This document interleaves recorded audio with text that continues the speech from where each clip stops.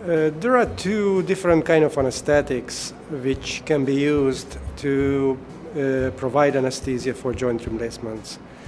Uh, I am practicing anesthesia over 20 years and there have been a lot of changes during this period of time. Originally, we used to uh, do a general anesthetic for most of our patients, which means uh, you receive an intravenous injection fall asleep, then we place a breathing tube, give uh, some paralytic medications, so relax your muscles, and then put you on a ventilator. Uh, over the last 10 years or so, I would say, uh, this uh, approach changed quite a bit. Uh, scientific evidence shows that providing a different kind of anesthetic, spinal anesthesia, also known as regional anesthesia, is beneficial for patients.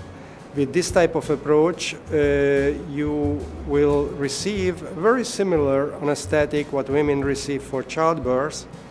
Uh, the anesthesiologist will numb your back with a, a very tiny needle, and uh, after that, the anesthetic is uh, uh, placed in your back, which provides complete numbness of the lower body. Uh, during the surgery, however, you still go to sleep. However, this sleep is much more similar to a normal nap. You receive medications through an IV, you fall asleep, but uh, you're not paralyzed. You receive uh, no muscle relaxants. And uh, most importantly, you don't have a breathing tube placed.